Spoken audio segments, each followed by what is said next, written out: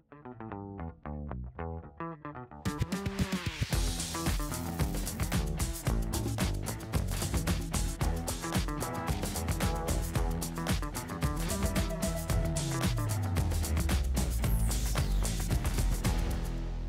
Hello, everyone, and welcome back to A View from Earth, the official podcast of the Fiske Planetarium at CU Boulder.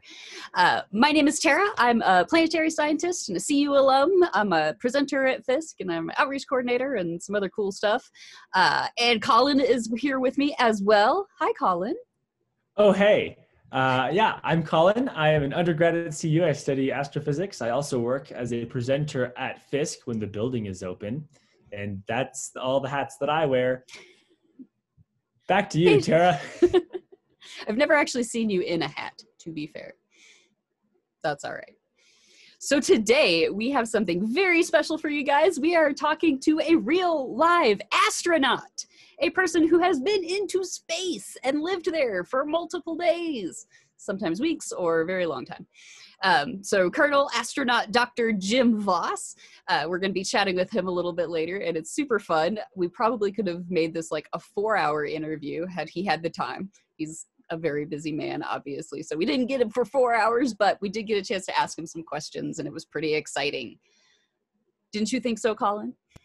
I would say so. Yes, I have. Uh, you know, I, I don't know if this actually happened or if it I made this up as like a weird memory, but I I remember being at the planetarium and there was this man who I think was trying to tell me that he was a Canadian astronaut.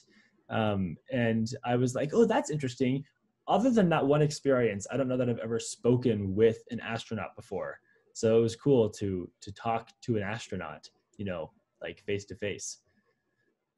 I think we've also had uh, Harrison Schmitt has come to uh, do presentations at Fiske before, so I've gotten to meet him and not have an actual conversation, but just like a hi, shake your hand, I work here kind sure, of thing. Sure, right. Which right, is still cool. Yeah, well, yeah, yeah, absolutely. Well, but it's not every day you get to talk to an astronaut, so this is super exciting. I know John well, was really excited about it too. I was, yeah. I I I wrote probably I think it was 16 questions. yeah. Um, I spent all of Sunday just doing that, and it was it was a lot of fun. I, like like you said, I, I we could talk with him for four hours and still not get finish up with our all our questions. Oh yeah. I mean, there's infinite things you could ask about. So it's super exciting. I wonder if we asked any questions that he had not heard before up to that point. I don't know. I imagine as an astronaut, you, he's probably done a bazillion interviews. Right. Um, so I can't, just thinking about the things that we did talk about, I can't imagine that there was anything that he's never heard before. I wonder mm-hmm. if there's anything that he's never heard before. Fun fact astronauts are actually just omniscient. They have heard everything, and you cannot surprise them with anything. So that's part of your qualification. It is, yeah. That's why it's so hard to become an astronaut, is that you actually just have to be a god. So let's not put that out there. um, I, okay, here's a question. When I, like, after I, you know, did the quick little introduction, I said, uh, Dr. Colonel Jim Voss, thanks for being with us. Is there a particular order for which those words are supposed to, like those titles are supposed to be stacked, or are, is it just like when you have three of those titles, can people just pick which ones to use and then that's how they address you? Do either of you know how that works? I I asked that same question when I was writing up the descriptions for the episodes because okay. he does have so many titles. It's like how what order does this go in? Right. And from what I was told from several sources, the military title always goes first. Interesting. Okay. Um, and then after that, I think you can decide. But I think it just made more sense to say astronaut doctor rather than doctor astronaut. Right, right. Yeah, that makes sense. Well, in that case, I apologize to listeners who are aware of this rule and then I broke it. I don't know this is a rule. This is oh, just what I was well, told. but by various members of the military. So Sure. Right. Right. Right. maybe they're biased. I don't know, Yeah. but You know. I figure it can't hurt. I would like to get to a point in my career where I have like four titles. yeah. Right. Sweet. Seriously, that'd be pretty sick. Astronaut. That's interesting. You know, uh, up until this interview, I don't know that I thought of astronaut as like a title that you use in a name. Like, obviously, you know, you can be an astronaut, like, that's, you know, what you do, but I wouldn't have boxed know it that- together with the other ones. Maybe it's not an official title, but I mean, if I Hmm. was an astronaut, I would want that in my title. I want everybody to know I'm an astronaut. Do you think that astronauts, like when they like order something from Amazon and the shipping address, they put astronaut and then their name so that their I delivery would. driver can be like astronaut Jim Voss, cool, before they set the package down at the doorstep?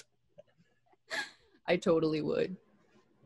You know, when people get their doctor, they're always very excited to put that doctor in front of your name. right, right. Or like medical doctors, they put, always put the initials at the end. mm-hmm. So Right. put astronaut in there. Heck yeah. Yeah, yeah.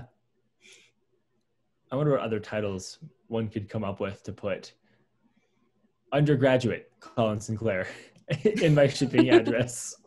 Doesn't have quite the ring. Not Yeah. quite the same Yeah, effect. yeah, it's not quite as cool. Oh well. Yeah.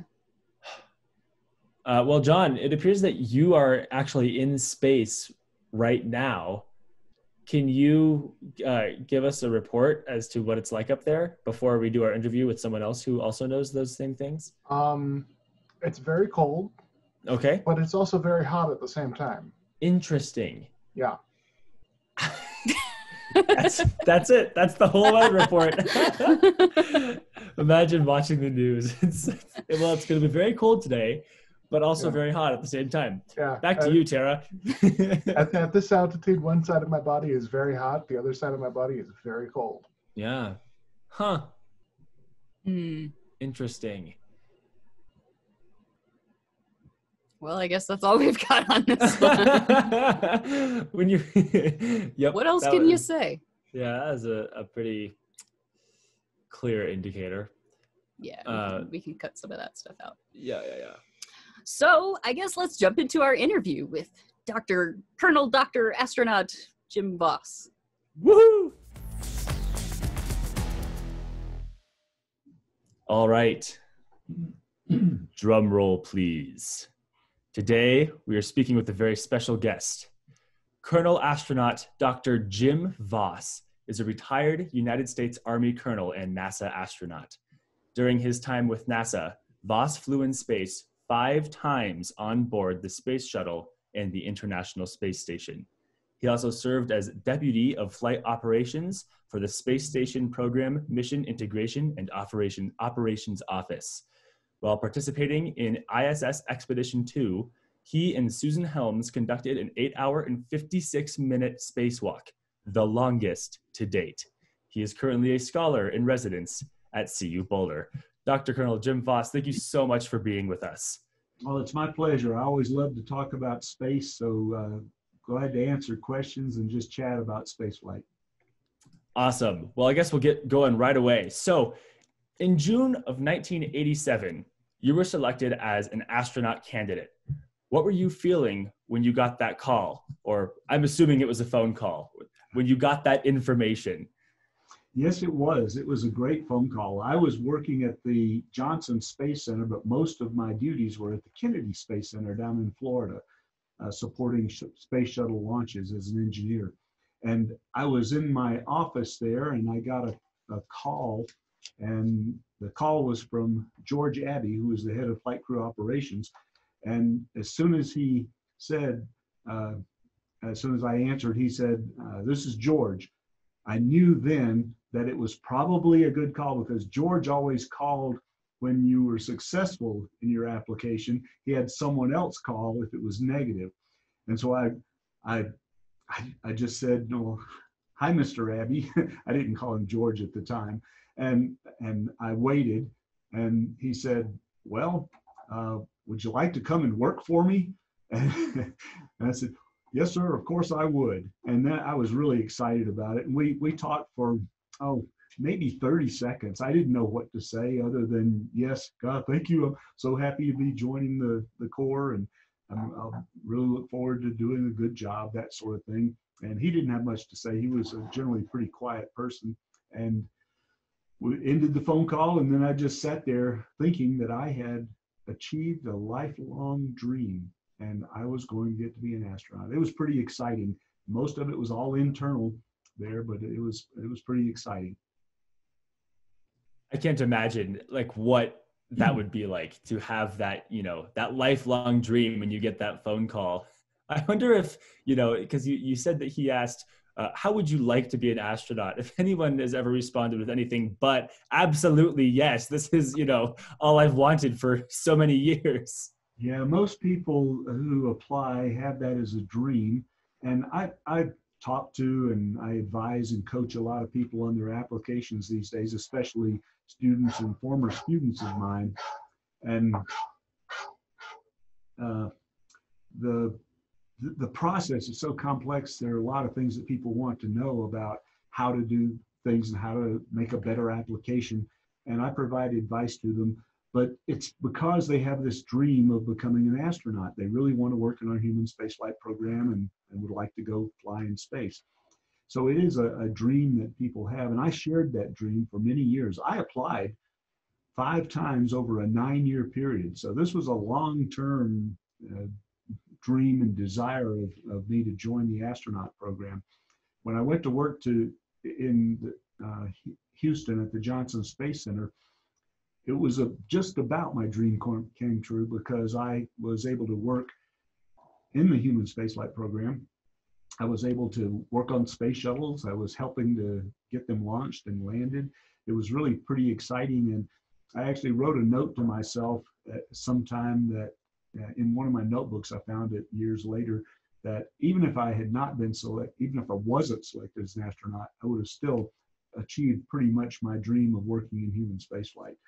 And I think that a lot of people who uh, who apply are chasing their dreams, and many will not get there. You have to be very lucky, fortunate to become an astronaut. It's not just because you're qualified. Most of the people who apply meet the minimum qualifications. And then those that get to the interview stages, the 200 or so that they look at every few years, uh, gosh, they're just so, so qualified that any of them would make good astronauts.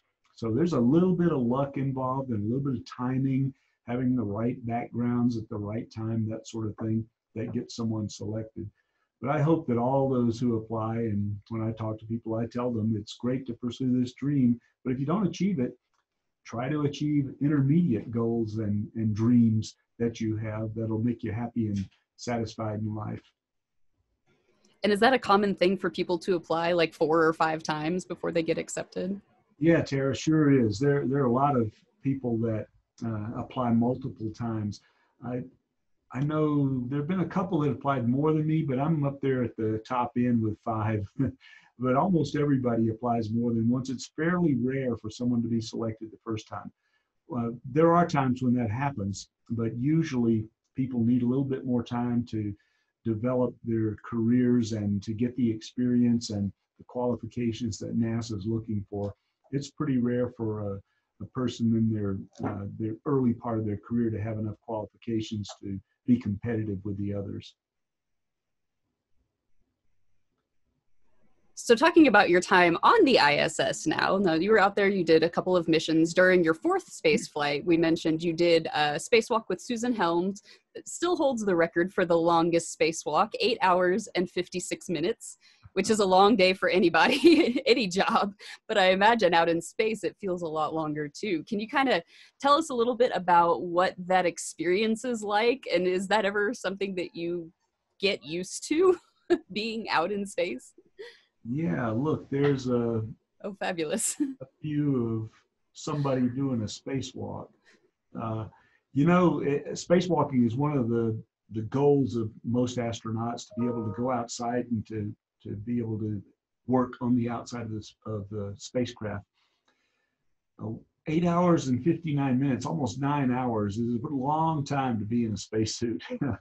you know, you get hungry, you have to go to the bathroom, Uh, you get thirsty after a while. You, you take some water with you in a, a big gulp size uh, container that you have a little nozzle that's sticking up near your mouth so you can take a sip, sort of like a lot of runners or hikers use. But that runs out within the first couple of hours usually because it's pretty dry inside the spacesuit. So you get uh, a little bit dehydrated by the end of a long spacewalk also. Uh, there's the problem going to the bathroom. We wear diapers these days and they work okay. Uh, usually you don't uh, eat a lot the, the, the day of your space uh, walk, but you still have to urinate and you do, but the diapers work extremely well. The, you also get pretty tired. The spacesuit is an inflated rubberized material structure with other layers of material over it, so it's relatively stiff when it's inflated.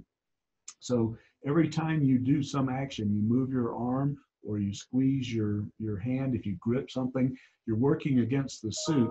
So you're kind of working almost all the time doing something. And after uh, six to eight hours, uh, you can get pretty tired. Uh, you don't notice that so much. It's like anything else when you're working and doing things that are pretty interesting or you're focused. You don't notice, but boy, when you're done, it's like, whew, I'm a lot tighter than I thought I was going to be. Uh, after Susan and I did the really long uh, spacewalk, we were pretty tired. Uh, we were uh, happy to just rest and let our crewmates clean up our suits and put things away for us. Uh, we wanted to eat, and then we were just about uh, ready to go to bed after that, after we got over the excitement of, of the day spent outside.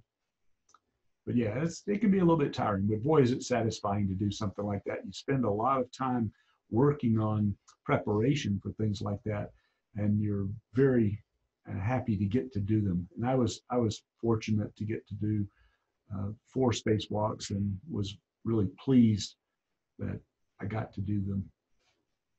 Is that a scary experience? I imagine stepping out and seeing the planet below you and knowing that like that just seems like that would be very frightening the first time you do it.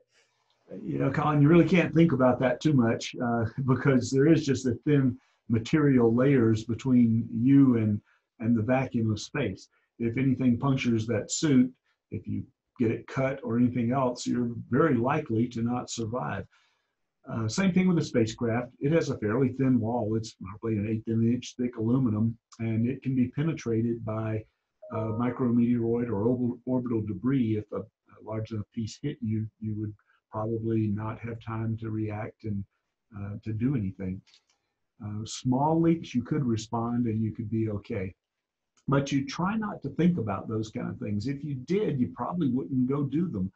Uh, it's like many things that we do in life. We weigh the risks and uh, we weigh the benefits of things and the career satisfaction, helping to accomplish our nation to do something very special in space, uh, I felt outweighed the risks. I also knew that the risks were, uh, for this type of thing, relatively low because they, they do a really good job of building our spacecraft.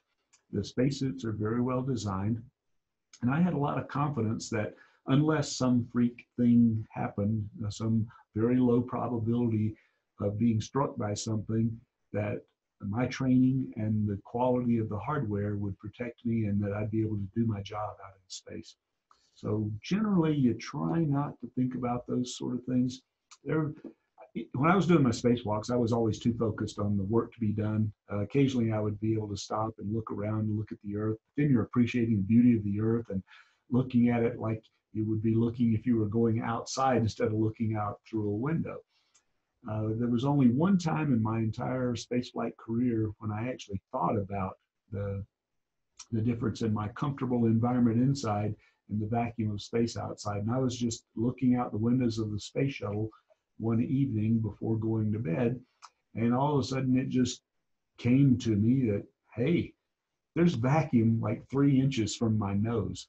And if something happened to leak our environment out, everybody in here would not survive.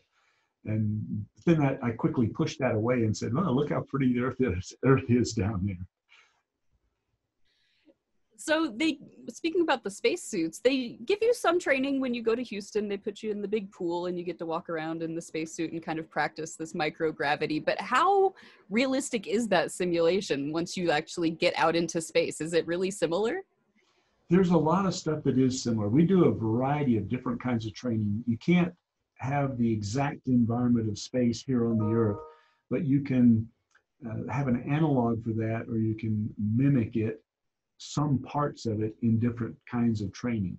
The neutral buoyancy lab that you mentioned, the great big swimming pool down in, in Houston, you get in the suit and you go in there and you're underwater and things float around and they use plastic tools and stuff like that. So it sort of feels like uh, the real tools will in space. So a lot of that is the same, but you're still in a 1G, 1 gravity environment. So if you turn upside down, the blood still rushes to your head. You still rest your shoulders on the top of your suit and they hurt after a while. You know which way is up. Uh, there are things that are not exactly right. You've got the viscosity of the water that you work against or feel when you move. So those are differences. We also can use an aircraft to simulate the microgravity of space and uh, the, the airplanes that they use do these dives that uh, that um, give you about 20 to 30 seconds of microgravity so you float around then the floating part, being inside a suit, feels exactly the same as you are in space, but you only have it for 20 seconds or so. So you can't do a lot. You can do a few things, but that's an excellent replication of what it's like to be there. You don't have the rest of the environment and there's no danger involved. So you, you don't uh, have that same feel. But you do a lot of different kinds of training. We do vacuum trainer training testing in our suit, and that's to experience the, the real danger of being in a vacuum, but to build your confidence in your spacesuit so that you do believe that it's going to protect you when you're outside. So you combine all those things together and you put it together in your head and it becomes like real spacewalking. Then when you do it, you're pretty comfortable, you've practiced everything, and you you feel like you've been there before. Speaking it's of, still, uh, it's still pretty spectacular when you do it, though. Yeah, I, I can't imagine anything really can serve as like a a replacement for actual spacewalking is you know no matter how much practice you do on in in simulations. I imagine spacewalking itself kind of takes the cake. Uh, yeah it's pretty exciting when you open up the hatch and go outside though. I have to admit on my very first spacewalk we were delayed going out for a variety of reasons and we were supposed to go out at the start of our daytime the, the 45 minutes we have of sunlight so that we could see better and, and work in a, a, bright environment. But we delayed enough uh, when we actually went outside, it was after uh, we were in the, the shadow of the Earth, so it was dark. We'd also had one of the lights in the, the payload bay of the space shuttle failed early in the mission. So it was a little dimmer out there than it normally would be. So when I opened the hatch and pushed open the cover that my very first thought, instead of, oh gosh, what a beautiful view, how wonderful it is to be looking out into space and at the earth, my first thought was, hmm, gosh, it's darker than I thought it would be. Do your suits have uh, lights equipped so that you can, you know, look around and, and illuminate your workspace, or are there just lights fixed to the space station that do that for you?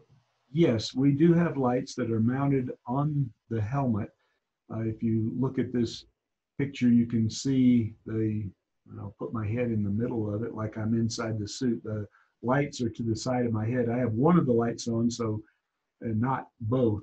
So we're probably getting ready to go into darkness. So it's about to get dim, and they'll they'll remind you, turn on your lights. It's about to get dark, and one click is one light, and two clicks is both lights if you need more illumination. Uh, but yeah, they work very well. They're bright.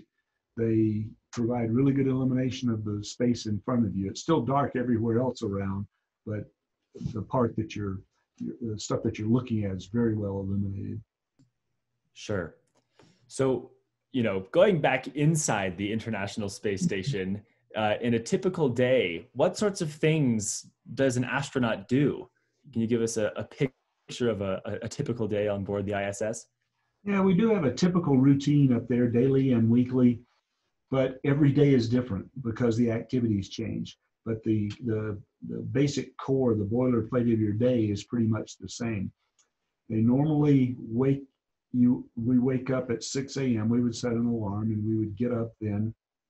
We would uh, do the normal morning things, turn on computers, turn on lights. We would activate things that need to be activated for the day. We would then do personal hygiene. I would usually shave in the morning. I would do my my cleanup, my sort of shower later after exercising, but I would usually shave in the morning and then we would have our breakfast meal. We would get an uplink from the ground. Uh, we didn't have constant communications at the time, but we would have been sent up some stuff overnight so we could look at what the daily activities were and what had changed. And we would talk about that over breakfast. And then we would, at 8 a.m., we would have our time, we would have a teleconference with the Mission Control Center in Houston. And at that time, we would cover the daily activities and talk about the changes that were made and what we would be doing that was special, if we had any special events that we needed to participate in, those kind of things. Uh, and then we would go to work. And that, that was the part that changed every day. Everything before that was kind of the same each day. After that, we always were doing something else. We were building the space station at the time, which was pretty much fun. It was really a great time to be there. We were always activating new systems, installing new stuff. We were fixing things that broke a lot because there were a lot of things that after they got there, they found that they didn't work quite like they wanted to, or normal system failures with new type hardware that had never been flown before. So we spent our day activating things, doing experiments, uh, being a technician for the people on the ground to replace things and fix things. We also had to exercise every day two and a half hours are allocated for exercise and, and cleanup. And you kind of need to do that. We would uh, run on the treadmill. We would ride on the exercise bicycle. We would do use bungees for uh, muscle type things. We had a device called a, a resistive exercise device. It was kind of like a weight machine that you could that you might use on the ground that used used resistive bands, but it was like lifting weights to uh, to exercise. So you could get a pretty good workout in space. Uh, treadmill we used almost every day, and we used the weight type device every day. Uh, so we got a pretty good workout. We would stop for lunch. We would then do more of the same activities in the afternoon, and then we would have our evening meal. Then usually we'd go back to work and do a couple more hours of work because there was so much going on at the time. And we actually got them to institute a, a, new process that we had not done in the past, and that was a task list. It's kind of like a job jar. You have things in there that you can do anytime that it's convenient to do them. They, there are things that don't require support from the ground. It might be a changing a particular filter or doing some activity that you could just go and do. They needed it done. They didn't have time to schedule it. So they threw it in the job jar. It showed up on a list of things for us to do, and then we would we would take care of those things. Uh, we felt like we were going to be there, uh, not for vacation. We were going there to work. We needed to do stuff, and we knew there was just so many things they did not have time to schedule. And you wind up with about six hours of productive work in a in a normal workday because of all the other things that have to be done, routine maintenance and things like that. So the science had to be last. You got to maintain your spacecraft. You got to eat. You got to sleep. Those kind of things. And so we did a lot of extra science from that job jar task list. Uh, Susan Helms would spend her weekends working on experiments that uh, that she was particularly interested in, and we spent a lot of extra hours in the evenings. Then we would try to relax a little bit before we would go to bed, and usually we were scheduled to go to bed at 10 o'clock at night, and that would give us a full eight hours of sleep. Most of the time, we did not go to bed until after that. We would slow down and, and do more relaxing things, just talking or looking out the window, favorite pastime of astronauts on the space station, and, and doing other things, maybe sometimes playing around with microgravity, but relaxing before we would go to sleep. And usually 11 or midnight would, would be when we would actually go to sleep. And the six or seven hours was plenty of, of sleep in space because we slept very, very well there. So that's kind of a typical day. So even astronauts have to do chores. yes, we do. But our real chore day, th- th- those were all kinds of maintenance activities and other things. Our real do our chore day was Saturday morning where we had to clean the space station. Uh, it was allocated as a cleaning time. They wanted to give you the weekend off, but you got to clean sometime. So ours was Saturday mornings. We took a little more than the morning at first, then we took a, a lot less later on as we got used to it and experienced and learned all the quick ways to clean our filters and to wipe down surfaces with disinfectant, those kind of things. Uh, the, the cleaning, we usually assign tasks to different people. One of us would grab the vacuum cleaner and go vacuum out filters and get all the hair and skin and uh, food residue and other things uh, that had gotten in our filters and clogged them up a little bit. And the others would go and wipe down surfaces with fung fungicide or disinfectant. Uh, we would clean up and straighten things that had gotten left out during the week, uh, put things away, that kind of thing. But by Saturday afternoon, the space station was usually clean and well organized and in good shape.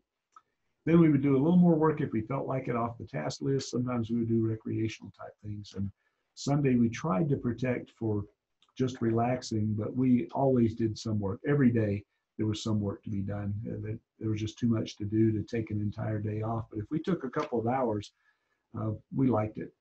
It was it was very relaxing. Very cool. Now the ISS is pretty much it's a pretty contained environment and it's also very isolated. And this is a thing that a lot of us are starting to experience now.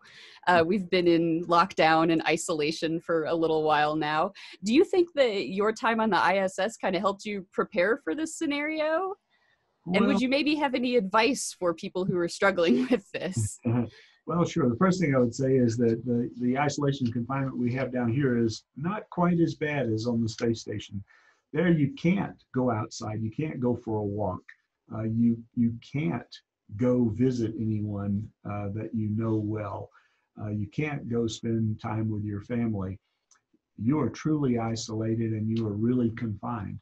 The only case of being able to leave would be some real medical emergency, probably, and uh, that that hasn't happened yet. So that's why no one's evacuated.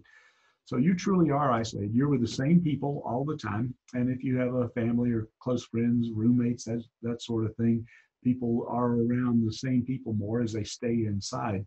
There, we had, uh, we were three a crew on board the space station at the time. Now they're up to six and seven a lot of the time.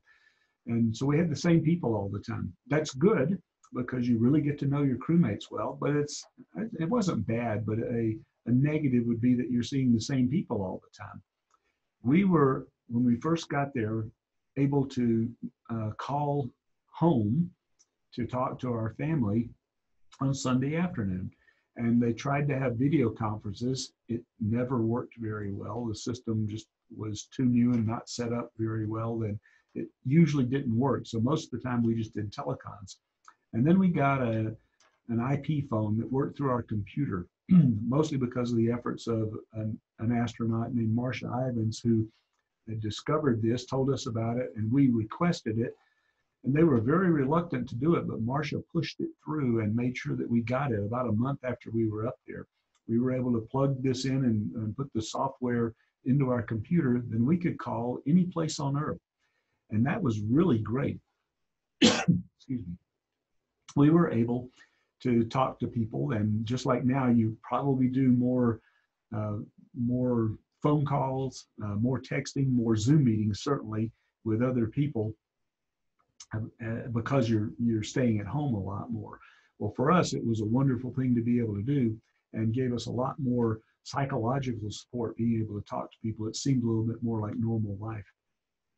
I think that what i have thought about during this uh, the the COVID time, the isolation of folks and not being able to do normal activities is the main thing.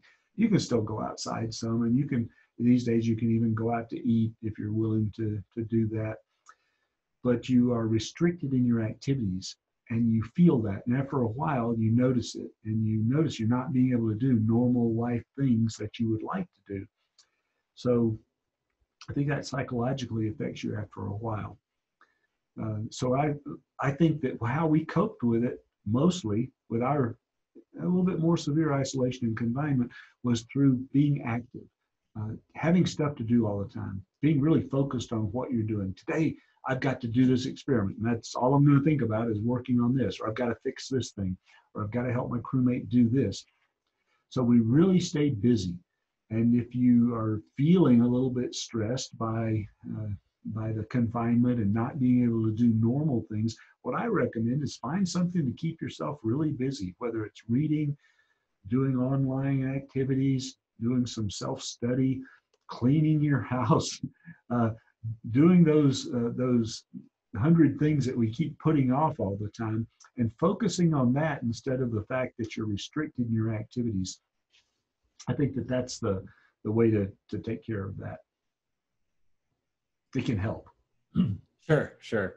So speaking of, you know, this kind of psychological aspect of of space flight, uh, there's this thing you've probably heard uh, that people talk about called the overview effect, um, which I understand to be this kind of shift in in your awareness um, reported by some astronauts. You know, as they kind of look down on the Earth. Uh, did you experience this so-called overview effect? And if so, how did it change your thinking, uh, or what did you learn from it? No, I did not. Most people don't. A few people come back with that feeling. Uh, it's just a different perspective of looking back at the Earth from, from, the way I look at it. It was a very beautiful view, and you do see the Earth differently than you do from here. But you see the Earth differently if you climb a 14er here. It's different, and it's spectacular, and it's special. But it's just a different view of the Earth. The satellite views that we have of the Earth share uh, a lot of things like the the thinness of our atmosphere, the the weather patterns that we have, those kind of things. So I think anyone who is prepared to to think about things differently could have that by looking at the earth through some of the tools that we have or climbing a mountain flying in an airplane it can provide you with a different perspective and yes it does do that but only a few people feel like it changes themselves and their the way that they really look at the earth, I think. So another thing about the ISS is that it, it really is sort of an international effort. They have people coming from all different countries and you're working closely with people from different countries and different races. Do you think this is something that maybe the rest of society could learn from or maybe anything that you might have learned yourself? I think it's just a good example of cooperation and the way people can work together. We don't pay attention much to what someone's uh, ethnic background, race, color, nationality, or anything else is, gender. It do- just doesn't matter. You're all there to do a job, and everybody does their job, and you're much more concerned with their professional capabilities than you are with anything else about them. Uh, we learn from other people who have other interests and other backgrounds and I think that's a very valuable thing. I cherish my time living in Russia while I was training there, getting ready for the International Space Station, because I was deeply exposed to another culture and another way of looking at things. And Russians do think differently about some things and they react differently. Uh, they interact differently. They have different customs, and I, I greatly value that. And I think it made me a better human being by having that exposure. So, yeah, I, I think that the International Space Station is a really good example of how we can cooperate, how we can get along, and we work together, and it's better for all of us if we do that. Something that's always kind of struck me mm-hmm. about this kind of international cooperation is that astronauts always seem to speak more than one language. And there's I, it feels like you know there's always this you know potential conversation in like one of several languages happening on board the iss is this uh, an accurate depiction of like what's you know how everyone talks to each other? And if that's the case you know what like are there any serious language barriers that people run into or is that a non-issue? It, it, it can be, but uh, ja se glasa, paruski, могу говорить с друзьями на, на международной космической станции. So I, yes, I, I, I agree that we need to be able to communicate and I speak Russian and it enabled me to communicate with, with my friends on the International Space Station. You know, it's like any place else. You go somewhere uh, where other people speak a different language, it's better to be able to communicate some in their language as well. If you travel internationally, you don't have to be fluent. with the space station, it was important for us to be able to speak Russian pretty well in the early days, particularly because we had to interact with the Russian uh, control center, often independently of our Russian crewmate. Uh, it also allowed us to communicate very well with, with him, uh, Yuri Usachev, who was my, my Russian uh, crewmate on the space station. Language is, is important, and it is important to be able to communicate. And we never spoke only English or only Russian, though English was the language of the space station. We did a mix. We would talk in Russian when I was talking to my crewmate, my Russian crewmate. But if I didn't know a Russian word, I'd just switch over to English and we'd go back and forth. It was um, maybe 90% Russian and 10% English. And he would speak to me in 90% English and 10% Russian. But we'd go back and forth and it didn't seem to matter. And after a while, we weren't even thinking about what language it was. We would just talk and it allowed us to communicate. So, Colin, uh, Tara, I was about to say, should we skip to the Capcom and get those on? I think we should. Yes. Okay, So so let's go ahead and, and and jump over to the section of the of the podcast called we're calling it Capcom Q and A, where uh, listeners will send us their questions for experts, and then we'll pass them on to people like yourself. Um, and so this question was submitted, but without a names. This is from an anonymous listener uh, who's asking. The ISS has served us lots over the past few decades, aiding research and experiments of all kinds with many pieces of the station nearing or over 20 years of age, and in light of the recent leak, would it be viable to use the new generation of super heavy lift vehicles to aid in replacing pieces of the station or create a new, fresh station? Well, the space station was designed to last longer than 20 years, and it is certified to last right now through, through 2024. And some uh, nations have certified their stuff to 2028. The U.S. is going to do that. There, are, there's just work that has to be done to say, yeah, it's going to last that long. It's made out of really good materials, and there's no reason it can't last much longer than that. The things that might wear out can be replaced and have been replaced. We've just got a whole set of new batteries that are better technology as the older batteries started to, to deteriorate a little bit. Uh, we've replaced some solar arrays. There's a lot of stuff that has been upgraded and made better the, uh, over time. And there's the capability to do that some more. There are discussions now about when the space station will have finished its work and be done, and there's no real agreement on it, but I expect it to go to at least 2028, maybe longer. And there may be somebody that picks up running it later on. I think the Russians would want to stay and continue to work uh, with it, even if the US pulled out. There are also commercial companies that are planning to put uh, modules up there that they can use for commercial research, and that'll probably happen in the next year or two. Uh, and then that will further uh, expand the space station, give it more capability to last even longer. I don't think there's any concrete, definite time that it's just going to quit working. Uh, there can be leaks if, uh, in anything like that. I was amazed that there were no leaks initially with all the parts coming from all over the world and being assembled in space. And we had we had no leakage essentially for years. And, and then we just had two instances of small leaks since then. And they've been able to find them and repair them. So Terrence from Boulder wants to know uh, what personal items are you allowed to take into space? You have very little that you're allowed to actually take personally. On the space shuttle, it would fit in the, the palm of your hand uh, what you were allowed to take up there. And only two things were allowed to be brought out. I usually took like a, a shirt from uh, a university like CU or Auburn, where I went to, to undergraduate school. Uh, and I would take something else that I could put up. Uh, on the space station, we were allowed to take a good bit more. It was a, a, about the size of a very small, very small suitcase. We could take some personal things. And then while we were up there, we were uh, sent some things from the earth. My daughter sent up some stuffed animals for me to uh, float around and entertain myself with. We would get notebooks uh, with notes from friends and family.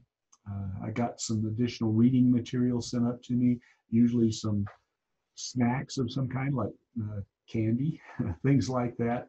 We got popcorn once, even.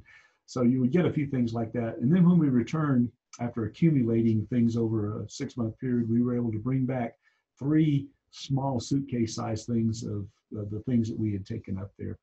But generally, you take personal things. I took a lot of pictures of my family, friends, uh, the, the environment, my house, things that my dog, uh, things that I wanted to be reminded of while I was up there, and I kept them out and rotated them over time uh, on the space station. All right, we have one final question from Charlotte in Austin, who is asking, how do astronauts practice their various faiths aboard the ISS?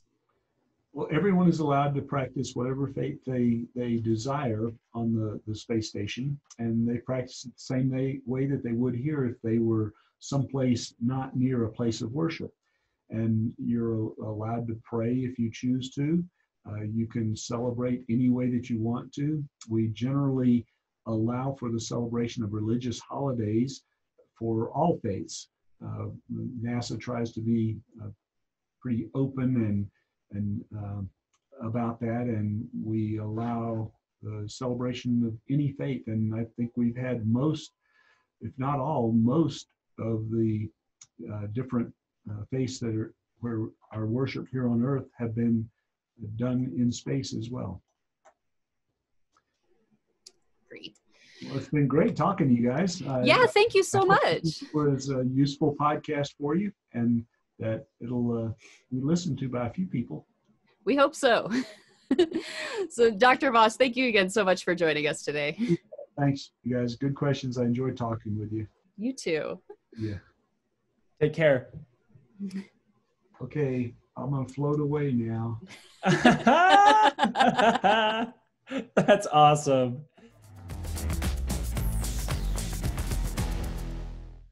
Okay, so that concludes our very last episode of this round of episodes. So we want to again thank Colonel Astronaut Dr. Jim Voss for giving us his time uh, and and doing it, that interview with us. That was a blast.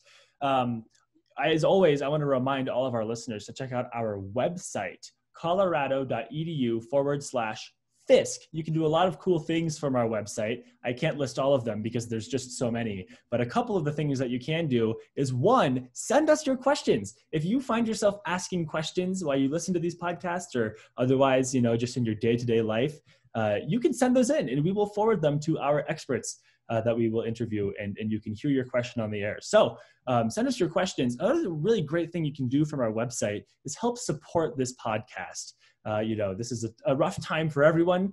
And, uh, and if you feel like you, uh, you know, uh, get a lot out of listening, uh, you can help create more episodes by making a donation to A View from Earth on our website. We can't tell you how much we appreciate that. this podcast is available on YouTube, SoundCloud, Apple Podcasts, and Spotify.